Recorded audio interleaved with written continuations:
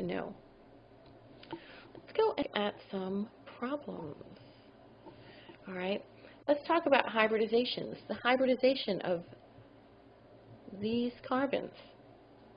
Well, if we look at both carbons, they each have one, two, three electron domains.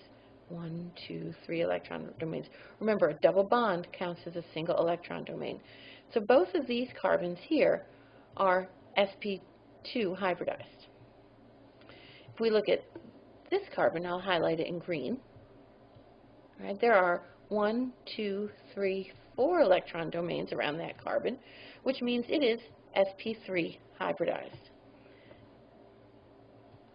If we look at both of these carbons, there are one, two electron domains around each carbon.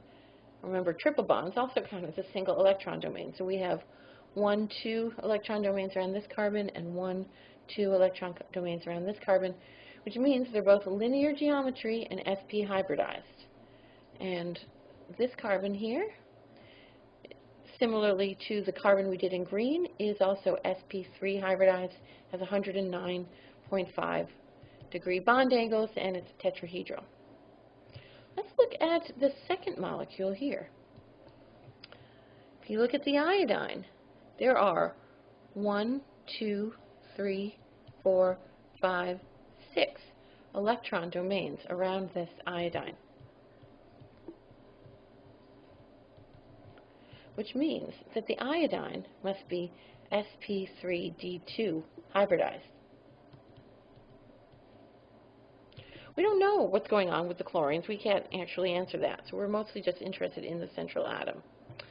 All right, let's go on and look at a couple of more problems. All right, this carbon here, you should be able to look at it and say, oh, there are one, two, three, four electron domains around it. Therefore, it's sp3 hybridized. The bond angle is 109.5 degrees, and it's a tetrahedral carbon. This carbon here has one, two electron domains around it, which means it is sp hybridized, as is the nitrogen. And if we look at phosphorus pentachloride, if we look at the phosphorus, there are one, two, three, four, five electron domains around the phosphorus, which is consistent with an expanded octet. But five electron domains means that my phosphorus is sp3d hybridized. I hope you found this helpful, and we will talk another